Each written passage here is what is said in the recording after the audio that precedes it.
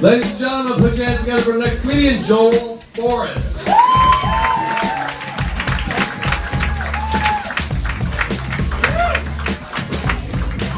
Yeah, yeah, yeah. How's everyone doing? Yeah. Trying to find myself on stage. Kind of hard. I'm like the most generic white man on the planet. It's uh, it's kind of tough. If I was a superhero, I'd be like beige Camry man to the rescue in a moderate amount of time.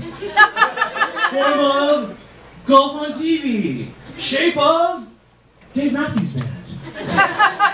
Tough. It's tough. One thing I'm happy about though is that uh, whites are now a minority in California, so I get to play the race card. Other day I was up at Starbucks in Beverly Hills. I'm like, hey, what's a white man got to do with this motherfucking vanilla latte from Starbucks?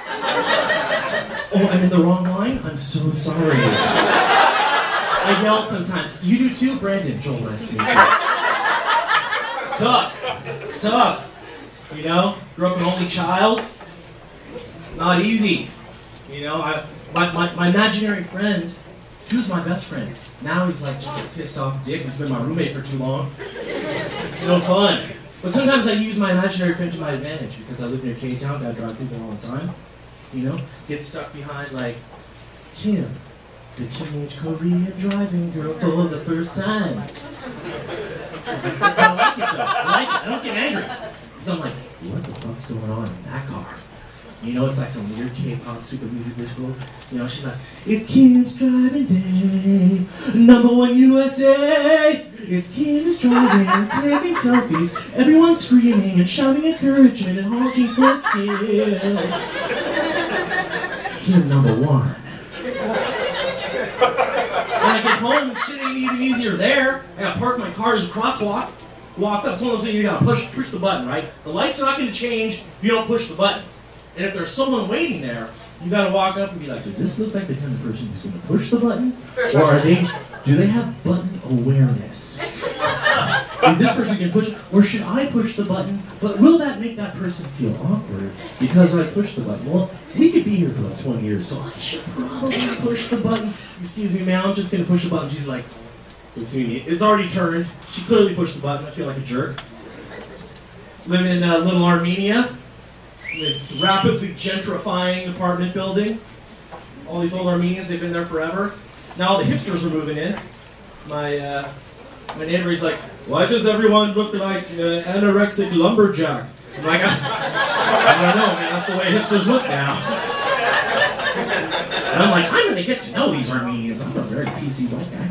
So I like, you know, I'm always peering out, seeing what's going on. You know, it's hot. They got the doors and windows open. I'm looking in.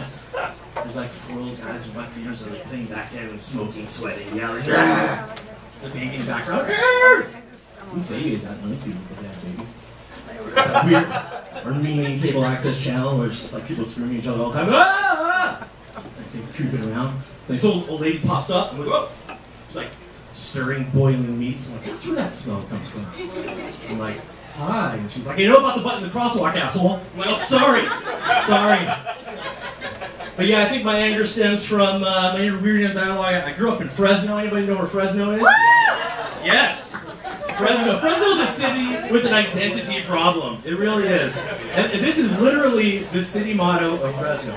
Fresno, a culture of excellence where people expect the very best every day. That is the city motto. He knows. That's the city motto of Fresno. I don't think it ac- accurately reflects, re- reflects Fresno. So I've been working on my own city mottos. You guys have me out with this. Fresno, because you ran out of gas on your way to someplace better. Fresno, come for the meth, stay because you're on probation.